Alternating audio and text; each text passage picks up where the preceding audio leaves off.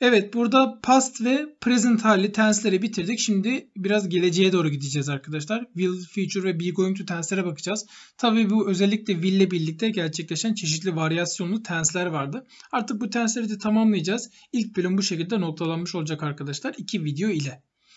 Will feature will future ecek acak anlamında genellikle çeviriyoruz. Hani ağzımızdan çıkacak gelecek zamanlı ifadeleri kullanmak için Will feature'ı genellikle tercih ederiz. Herhangi bir şey planlamamışız. Elimizde kanıt falan yok arkadaşlar. Bu tensi rahatlıkla kullanabilirsiniz. İşte gideceğim, geleceğim, yapacağım gibi şeklinde çevirebilirsiniz bu tensi. Will artı fiilin yalın hali. Çok basit bir tenstir zaten. Bunu şimdi cümle üzerinde görelim. Sınavı geçmek, sınavı geçmek tüm sınıfa ve özellikle öğretmene rahatlık sağlayacak. Ecek acak anlamında Burada will feature'ı kullanalım. Will'ı kullanalım. Rahatlık sağlayacak. Ne? Özne arıyorum. Sınavı geçmek. Sınavı geçmek özne mi? Evet özne. Peki geçmek diyor burada. Fiille birlikte özne yapabiliyor muyduk? Yaparız tabii ki. Ama o fiil artık fiillikten çıkıp neye geçecek? Ma, ışmak eklerinden bir tanesini almış burada. İsim olacak. Yani fiilden isim olacak. Bunu İngilizce'de gerund ve infinitif şeklinde bu konu anlatımında yapıyoruz arkadaşlar. Yani bunu da kanalımız aracılığıyla zaten rahatlıkla izleyebilirsiniz. Orada gerund infinitif konu anlatımını detaylı bir şekilde görmüştük. Zaten sizlere anlatmıştım. Bütün özelliklerini, bütün varyasyonlarını anlatmıştım. Ki özne konumunda da kullanılabileceğini söylemiştim. İki özelliğinde hem gerund'ın hem de to infinitif'in. Hangisiyle yapmak isterseniz yapın arkadaşlar. Ben gerund'la yapacağım. Ben özne konumunda gerund'ı daha çok yakıştırıyorum. Sınavı geçmek. Passing, passing the exam. Sınavı geçmek şeklinde gördüğünüz gibi ifadeyi, bu öbeği isimleştirdim ve özne konumda yer aldırdım. Özne sırada yüklem. Rahatlık sağlayacak. Rahatlık sağlayacak. Şöyle sağlayacak anlamında neyi kullanalım? Provide'i kullanabiliriz provide sağlamak anlamında. Genellikle ben de provide'i tercih ederim zaten. Günlük konuşmalarda zaten sıklıkla tercih edilen sınavlarımızda gördüğümüz bir fiildir. Sağlamak anlamında tedarik etmek gibi de düşünebilirsiniz. Provide neyi sağlıyor? Rahatlık sağlıyor. Comfort. Comfort. Şöyle. Evet. Rahat anlamında sıfatlaştırırsanız comfortable olur değil mi? Rahat anlamında, huzurlu anlamında. Evet. Provide comfort. Rahatlık sağlayacak. Peki ecek acak anlamında neyi vereceğiz burada? Şurada will will artı provide yalın fiil arkadaşlar. Gördüğünüz gibi. Şöyle çift fiil değil çiftliğiyle yazacağız. Evet.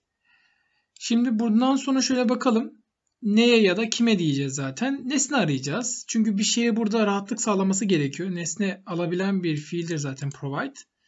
Tüm sınıfa ve özellikle öğretmene. Şu iki tane bir şey yazacaksınız ya arkadaşlar burada. Nesne konumda bulunduracaksınız ya. Bu sırayı kesinlikle unutmayınız. Sırayı atlamayın. Tüm sınıfa ve özellikle öğretmene diyor ya. Bu sırada V ile zaten bunu bağlamış. Yani hani İngilizceye sondan çevirmeye başlıyoruz ya. Şuradan gideceksiniz ya siz normalde. Öncelikle şunu yazacaksınız ya. Hayır. Öncelikle bunu yazın. Sıra bu şekilde değişiyor arkadaşlar. Yani V ile bağladığınız bir şeyi eğer orada işte sondan çevirmeye başlarsanız bu ifadeyi yanlış bir kullanım yapmış olursunuz. Anlatım bozukluğuna döner. İlk olarak işte özellikle öğretmene ve tüm sınıfa derseniz işte o zaman cümle değişmiş oluyor. Anlam olarak değişmiş oluyor. Öncelikle tüm sınıfa diyeceğiz. To kullanalım burada. Provide to zaten yapısıdır arkadaşlar bunun. Birine bir şey sağlamak anlamında. Evet. To the burada tüm anlamında entire'ı kullanabiliriz. Entire, all, whole bunları kullanabilirsin, tercih edebilirsiniz. Entire class sınıfa Şimdi and diyorum, v diyorum. Bakın sırayı bozmuyorum. Özellikle öğretmene diyeceğim şimdi de. Özellikle especially especially ben de özellikle anlamında daha çok tercih ediyorum. Especially the teacher deyip bu cümleyi noktalamış oluyoruz. Evet bu şekilde çevirebiliriz. Sizler tabii ki farklı farklı çevirebilirsiniz arkadaşlar. Ben burada sizlere göstermek istediğim nokta will future'ın bu şekilde kullanımının olduğunu, işte ağızdan çıkabilecek ece kacaklı gelecek zamanlı ifadelerde will future'ı tercih edebileceğinizi zaten sizlere burada anlatıyorum, vurguluyorum. Ve özellikle de burada almanız gereken ifadeler de varsa sizler de naçizane bunları öğrenebilirsiniz arkadaşlar. Şimdi burada hemen be going to tense'e geçmek istemiyorum. O biraz planlı gelecek zamanlı ifade ifadelerde kullanılabiliyordu. Will'ın will feature'ın varyasyonlu tense'lerine gideceğim arkadaşlar. Ben burada birkaç tane vardı onları sizlere burada hemen anlatayım. Will feature perfect. Perfect gördüğünüz zaman burada being görebilirsiniz demiştim. Have görebilirsiniz demiştim. Orada da vurgulamıştım zaten. Had görebilirsiniz demiştim. Burada da have görüyoruz. Perfect anlamında. E perfect olacaksa e, buradaki fiil de tabii ki üçüncü halli, past participle halli olmak zorunda arkadaşlar. Evet, nasıl çeviriyoruz? Şu perfect'i nasıl çevirirsiniz? Mış diye değil mi? Mış, will'i ecekacak anlamında. Mış, ecekacak. Mış olacak. Mış yapacak. Hani gibi düşünebilirsiniz. Bu şekilde Türkçe'ye çevirebilirsiniz. Kafanız karıştığı zaman hemen Türkçe'ye çevirin arkadaşlar. Bunu nasıl çeviriyordum acaba diye de burada kendinize sorabilirsiniz. Kiraladığımız bu evi 2 yıl sonra satın almış olacağız. Zaten bu tensi kullanmamız için ileri bir tarih verilmesi gerekiyor. Şu şekilde. Genellikle de verilir zaten. Sınavlarımızda da zaten bunu görebilirsiniz. Bunu sadece 2 yıl sonra değil, hani 3 hafta sonra ileri bir tarih, işte 2051, 2023 gibi de düşünebilirsiniz. Mış olacak anlamında. Bunu bu şekilde kavrayabilirsiniz. Zaman ifadesi zaten genellikle kullanılır bu tensle birlikte. Şimdi yapalım. Satın almış olacağız. Kim biz? Hemen özneyi yazdım. We. Will'ı kullandım. Have'i kullandım. Bakın şunu da dikkat edin. İşte we ile birlikte have kullanıyoruz. He, she olduğu zaman has geliyor. Hayır. Hayır arkadaşlar. Bütün öznelerde have kullanılır. Okey? Burada anlaşalım. Yani has ile alakalı bir durum değil bu. We will have fiilin üçüncü hali. Fiil ne? Satın almak. Satın almak.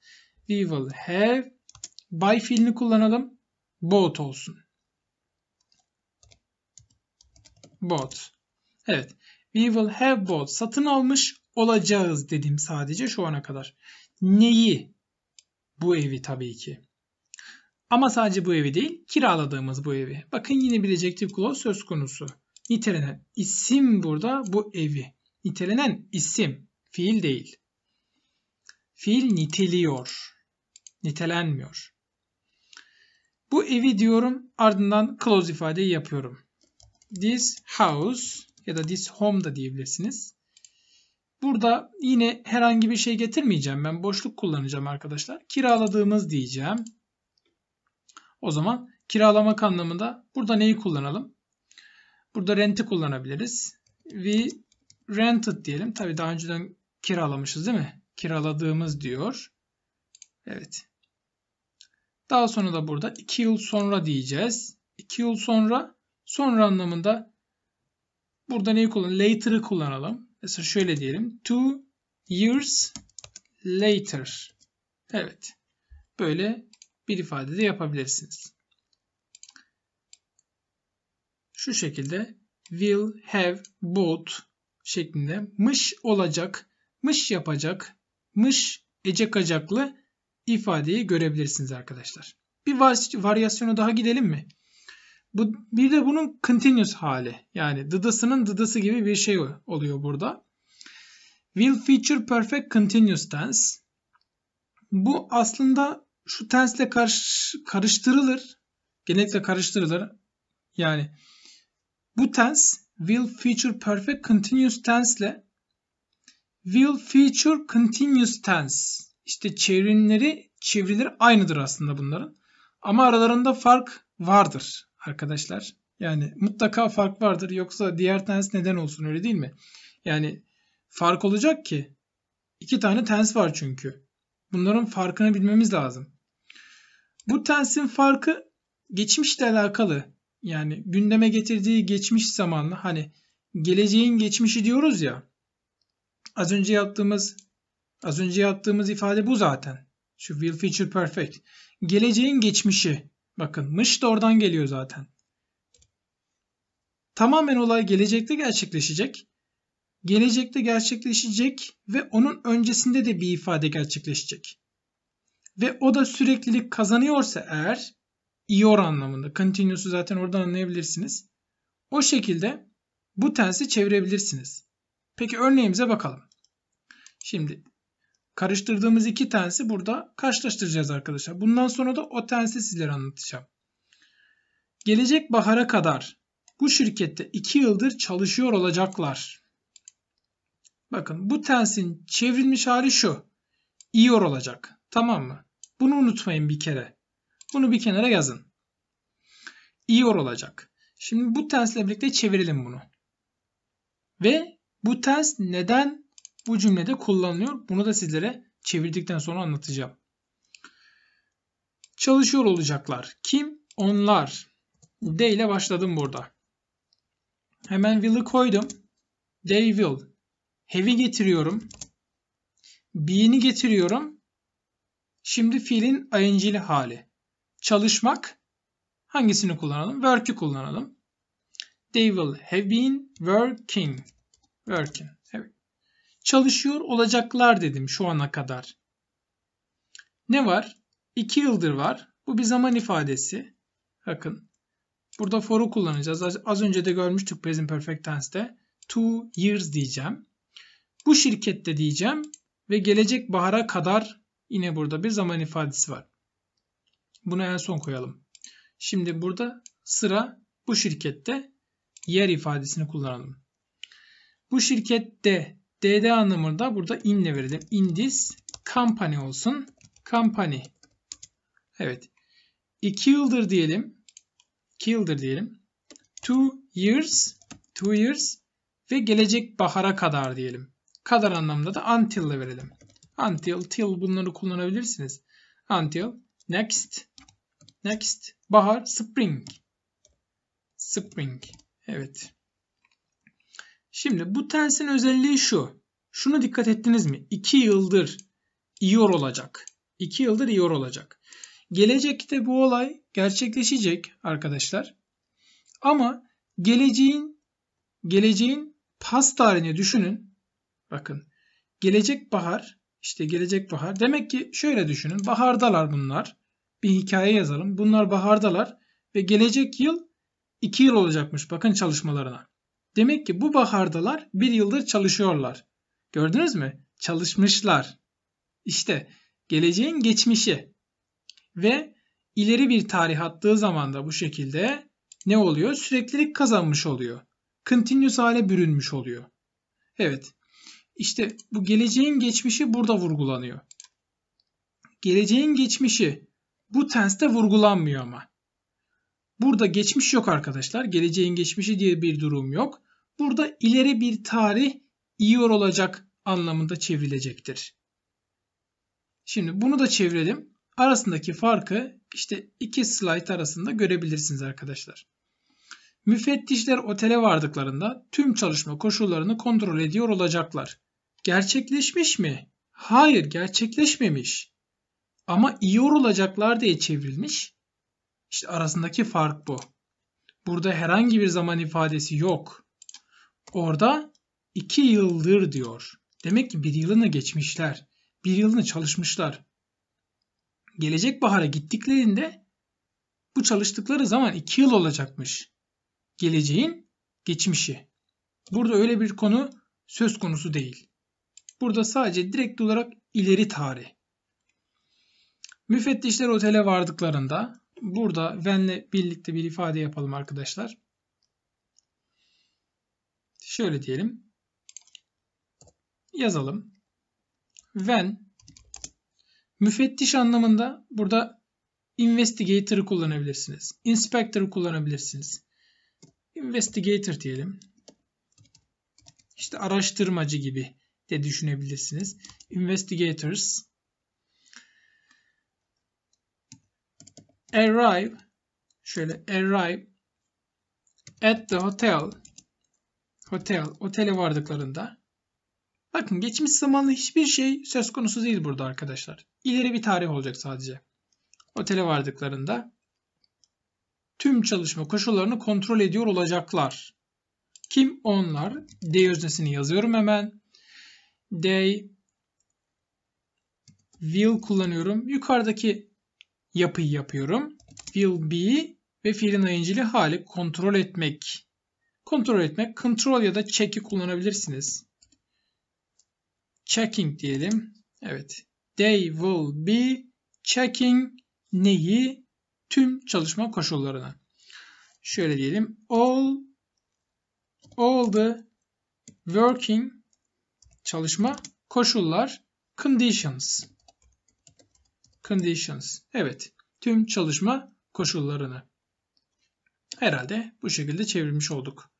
Evet arasındaki fark bu gerçekleşmemiş henüz yani bir geleceğin geçmişi bir durumu yok. Yok arkadaşlar böyle bir durum. Ama burada var. Burada var aynı çevrime sahiptir. İyi olacak diye çevrilir. Bakın unutmayın çevrimlerine dikkat edin arkadaşlar. İkisi de iyi olacaktır. Bakın iyi olacaklar. İyi olacaklar. Unutmayın ama bu perfect ifade devreye girdiği için perfect çünkü pastalli düşünülmesi gerekmektedir. Burada gelecek zamanlı perfect'i, geçmişi de burada vermeniz gerekmektedir. Bunu da neyle verirsiniz? Çok basit. Zaman ifadesi Zaman ifadesi 2 yıldır olacakmış. Evet. Bunu böyle düşünün arkadaşlar. Yani eğer bu tensle düşünmek istiyorsanız, anlamak istiyorsanız bu şekilde yorumlar da yapın. Son tensimize geldik artık İngilizce'deki. We going to tensi. Will arasındaki en büyük farklılık will işte ağızdan çıkacak herhangi bir planı olmayan, kanıtı olmayan ecek acaklarda kullanılıyordu. Bu tam tersi kanıt var, plan var, işte görünen bir şey var. Yani olacak, gerçekleşecek. Biraz net gibi ihtimali daha yüksek. 80, 90 yüzdelerde düşündüğümüz zaman. Bilet almışsınız, elinde biletiniz var, gideceksin. Havada kara bulutlar var, yağmur yağacak. Hani ece kacaklı ifade düşündüğünüz zaman bu şekilde verebilirsiniz. Unutmayın arkadaşlar bunu. Uçak bileti artık ellerinde. Haftaya düğün organizasyonuna katılacaklar. Ece Kacak. Nereden bileceğim ben? Will mi? Be going to mu? İşte uçak biletlerinden. Artık almışlar gidecekler. İhtimal çok yüksek. Gitmeme ihtimali var mı? Var mı? Var tabii ki. Biz bu ihtimali düşünmüyoruz. Biz gidebilecek mi gidemeyecek mi biz bunu düşünüyoruz. İhtimale bakıyoruz. Uçak biletleri artık ellerinde. Evet uçak biletleri şöyle flight diyelim. Flight tickets. Tickets. Uçak biletleri. Are diyorum. To be fiil ile bağladım bunu. Çünkü herhangi bir adjeksiyon belirten fiil yok. Are now diyelim artık anlamında. Are now in their onların ellerinde değil mi? In their hands. Hands ellerinde nokta haftaya düğün organizasyonuna katılacaklar. Kim? Onlar katılacaklar. Özne they. They burada hemen be going to tense'ini kullanacağız. Nasıl oluyor? Emizer artı going to verb 0. Emizer'i zaten nasıl kullanacağını biliyorsunuz. Going to'dan sonra, be going to'dan sonra verb 0. Şu be'den kastımız da zaten emizardır arkadaşlar. Yani they be going to demiyoruz tabii ki. They are going to diyoruz. Going to. They de aralıyordu zaten. Bunu biliyorsunuz. They are going to bundan sonra tabii ki fiil to'dan sonra katılmak join'i kullanabilirsiniz. Attend participate'i kullanabilirsiniz. Ben burada attend'i kullanacağım. Attend. They are going to attend katılacaklar. Neye? Düğün organizasyonuna buraya katılacaklarmış. The düğün wedding wedding organization değil mi? organization organization. Sadece şu kaldı haftaya kaldı. Zaman ifadesi zaten cümlenin en sonuna geliyordu. Next week değil mi? Haftaya. Next week evet. Bu şekilde de be going to tense ile de son cümlemizi gerçekleştirmiş olduk. İki videoyla tamamen bütün tensleri geçtik. Artık üçüncü videonun hani sıralamasına göre üçüncü videoda da burada be going to'dan burada to be fiil birlikte başlayacağız. Be going to tensine kadar tekrardan devam edeceğiz arkadaşlar. Bunu süreklilik hale getireceğiz. Sürekli hale getireceğiz. Bunu şöyle düşünün. Hem burada tens öğreniyorsunuz. Burada sadece tens öğrenmiyorsunuz. İşte to infinitive, gerund ifadeleri nasıl isim yapabileceğinizi öğreniyorsunuz. Ardından kullanacak bağlaçları öğreniyorsunuz. Clause'ları, ejective clause, noun clause yapmadık belki ama belki ileride yapacağız zaten. Noun clause öğreneceksiniz. Daha farklı yapıları, if clause'ları ve benzeri tüm bağlaçları ya da öğreneceksiniz. Burada çok varyasyonlu, çok zengin, kelimeleri de zengin olacak bir çalışmayı burada sizlere bütünüyle bir şekilde açıklayacağım, anlatacağım arkadaşlar. Tekrardan görüşmek üzere, hoşçakalın.